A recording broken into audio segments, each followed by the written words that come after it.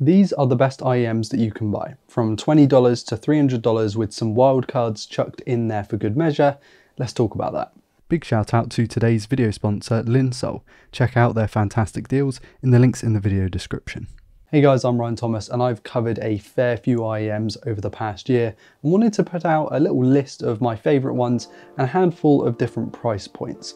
I get asked a lot about what people should buy and these are my favourites. My preference is deep sub bass with sparkly treble and good width representation. Disclaimer, these are all IEMs that I've reviewed, I've actually personally used and I won't put anything on the list that I haven't tried because that seems kind of counterintuitive. Alright, let's start off with the GOAT, Moondrops Chu 2. This is a compact, single dynamic IEM with a decent cable and a nice leather pouch. It is just £18 here in the UK, making it one of the most affordable options out there for quality IEMs. It has an inoffensive V shape and really has decent soundstage and imaging for the money.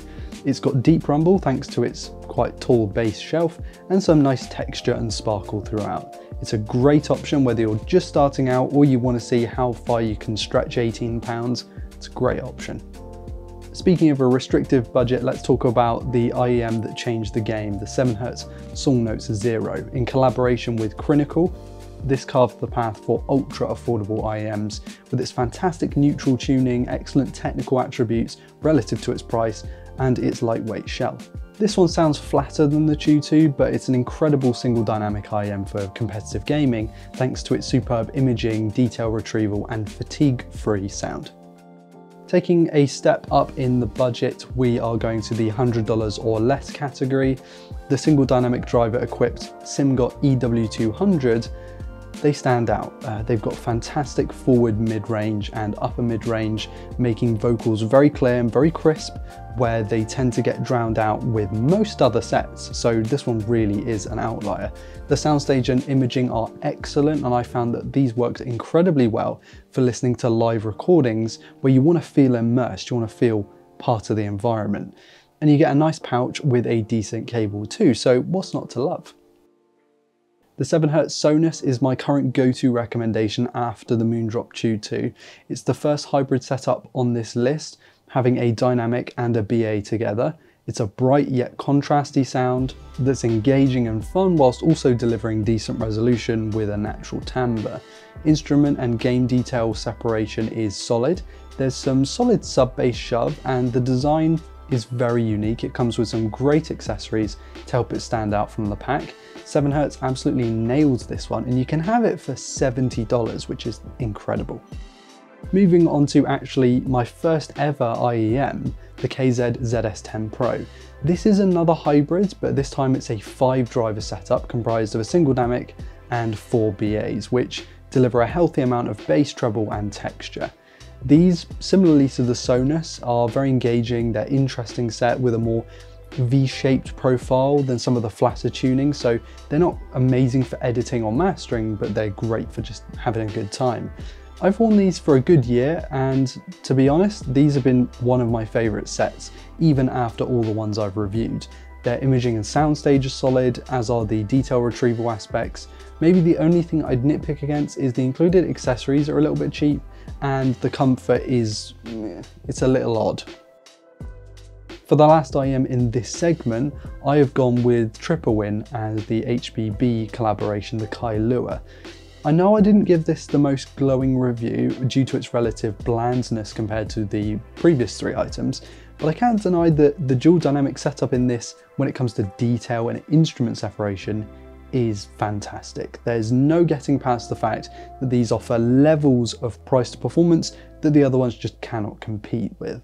It's a slightly V-shaped tune with some nice low-end punch, but I didn't find them as engaging or as satisfying to listen to as the ZS10 Pro or 7Hz Sonus, but that is probably more due to my preference than anything else. And the accessories are a little bit weak compared to the competition, but I would say if you just care about quality, these are really hard to beat for the price. Let's break this thing up with some wildcards. Uh, Final Audio's VR3000 gaming IEMs are actually really good for gaming if you can put up with their less than perfect fit and fixed cheap cable. The soundstage is huge, the imaging is spot on. They have a, an included mic if you want, although to be fair, it's not very good. Uh, from a sound standpoint, they're perfect for competitive shooters, but their comfort leaves a lot to be desired, and I don't know if I would listen to a full album through these. Moondrop's Aria Snow Edition is still one of my go-tos for competitive FPS gaming. It's got a clean design, some great included accessories, and a flat sound that brings out detail that many other sets just cannot represent. A fantastic choice if you want something neutral with a cool design. And of course Sennheiser's IE300s with a single dynamic driver wonderful bass, wonderful treble. These sound beautiful. They're smooth, they're engaging. They've got a tiny little profile that fit most people's ears. Their biggest hang up though is that they have like a recessed MMCX connector that you have to be unnaturally careful with to not break. Um, there are some replacement cables out there, but they are quite expensive. And yeah, I'm not sure I really trust these. I just really like how they feel and how they sound. All right, back to the main stuff. Let's go sub $250 now.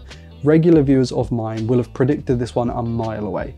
Uh, yeah, it's the Kiwi Ears Quintet. They have amazing texture and character. They're a hybrid made up of a dynamic, two BAs, a planar, and a piezoelectric. This IEM is tuned incredibly well, so everything sounds cohesive whether you're listening to music, watching a film, playing games. They don't go quite as low as some of the other sets, and I really like that deep bass, but there's enough there that make up for it and I think just the quality of the other aspects of the sound also make up for it. Just be cautious if you're sensitive to sibilants, these are a particularly energetic and vibrant set, uh, and it's actually between the OH10 and these as my favourite overall set of IEMs. So we should probably talk about the OH10, made by IKKO. This single dynamic and single BA hybrid offers incredible rumble and low end and sparkly treble and a very V-shaped profile with excellent soundstage. This is not going to top any resolution charts and it's definitely not the most accurate pair for mixing and mastering. But for those wanting something that really just keeps you hooked, the, the IKKO OH10s are hard to beat.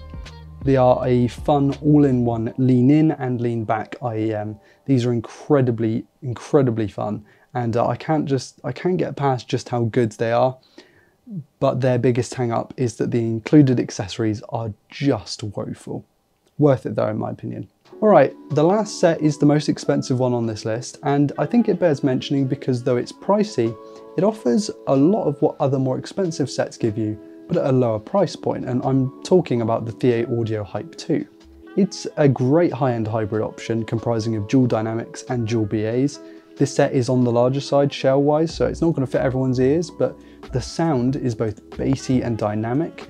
They are a good all-round set that should please most. There's a slight metallic aftertaste with my copy that I didn't love, but it's probably the reviewer in me just really nitpicking the details if I'm completely honest. It also comes with a fantastic set of accessories, so if you're wanting something that's a full package, it really is good for $2.99. And that is my collection of recommendations for IEMs between $20 and 300 there are some great options out there thanks to the Chi-Fi explosion, although Sennheiser with their IE300s, you know, slightly different to that, but I, I really do like the whole idea of every week there's something that's a bit better because then we're driving forward uh, progress and it, I think it's a really good thing for the space because not only are we getting better IEMs, but we're also getting really good IEMs on the cheap as well. So if you don't want to spend more than $50, you don't have to. Hey guys, Ryan here. Um, my eyes look really red in this preview. I hope that's not what it looks like in the in the thing. Um, if you have stuck around this far, then nice one. Uh, I am I'm moving. I'm finally moving. Um, we've secured the house, so we're gonna go and live there for a bit. After what 10 years living here, making videos out of my bedroom and the living room that then became my bedroom. Um, so yeah, I'm only on a single monitor setup with my Mac at the moment uh, PCs unplugged. And uh, yeah, just I wanted to include this at the end because I know some of you have been watching my content for many, many years. And um, yeah, it's just a turning point in the whole the whole thing. So uh, that's why there's been a pretty huge delay in uploads recently. This channel is going to be far more audio and just accessories in general Um, I'm looking to do some videos on stuff like games consoles, like I have done in the past, monitors, uh, keyboards, mice, that kind of thing. Uh, I know I've kind of dabbled in it before, but now that I'm working for Android Police uh, as a video videographer on the mobile side, I thought it would be quite useful or maybe less useful, more interesting if I kind of did something separate here. Um, I haven't been forced to, they haven't told me to or anything. They said keep my channel the way I want. Um, but I would just get bored making the same content over and over. And as you probably noticed, it's pretty much entirely IEMs on here now. So um, yeah, just thought I'd pop this in at the end of the video for anyone who actually cared. Uh, finally, I'm moving and there will probably be another delay or two um, just as we get moved in. So don't expect, you know, the schedule to be very consistent for the next couple of weeks or a month. Um, but after that, we should be settled in. So uh, thanks for watching, guys, and um, I will let the previous version of Ryan sign out the video. A big thanks to Linsoul for sponsoring today's video, and thank you for watching the video. Let me know your instant recommendations in the comments, I'd really like to hear them. Please like and subscribe to never miss a video like this one. All important links will be in the description. I've been Ryan Thomas, and I'll catch you later. Cheers.